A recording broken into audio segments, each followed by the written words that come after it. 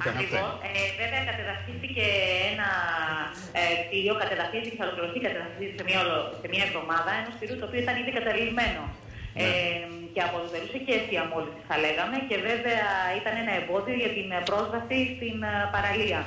Ε, τα σχέδια του Υπουργείου Περιβάλλοντος είναι κατά μήκος ε, δύο χιλιόμετρων από την ε, φαντασίας να ανοίξει αυτό ε, το παραλιακό μέτωπο, να πέσουν ε, τα εμπόδια, ό,τι πάει αυθαίρετο ελεύθερη υπάρχει πρόσβαση στην να παραλία. απομακρυνθεί, Που μιλάγαμε για χωρίς προσβάσεις. εισιτήριο.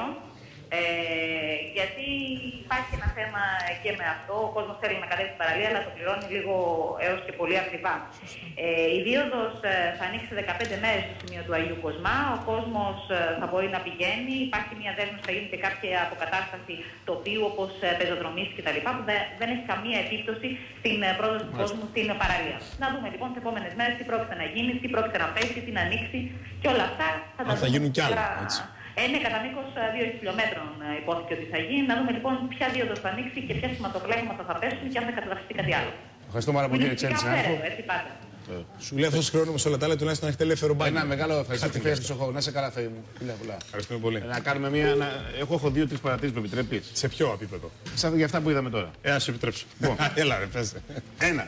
Τα πλάνα που πήραμε είναι- είναι πουλ από την ΕΡΤ. Γι' αυτό Είναι. είδατε στο 90% των πλάνων είδατε τον Πρωθυπουργό και, την όχι κυρία το, Πυρπίλη, το, την το, Υπουργό κτίριο του καταθεσμένο. Καταλαβαίνετε τώρα υπάρχει και μια ανησυχία. Και μια μηχανία στους συναδέλφου εκεί πέρα και δεν μιλάω για τους δημοσιογράφους, μιλάω το σύστημα εκεί στη κρατική τηλεόραση μέρες που είναι να γίνονται και αλλαγές. Καταλαβαίνεις τώρα. Δύο. Ε, Ρεαλιστής ο Πρωθυπουργός κατεδάφισε τη φαντασία. ε, ρεαλιστής Μ' άρεσε δεν είναι. αυτό, ναι. Ε; Σου λέει εδώ τέρμα η φαντασία, πάμε στην πραγματικότητα. Να πάμε και σε αυτά που λειτουργούν όμως παράνομα. Έτσι. Αυτά που είναι Πρόσεξε τώρα. σκιάχτρα. Και τρία, που είναι το τρίτο και το μακρύτερο στο λόγο μου, είναι ότι πήγε κατεδάφισε ένα μαγαζί που δεν υφίσταται.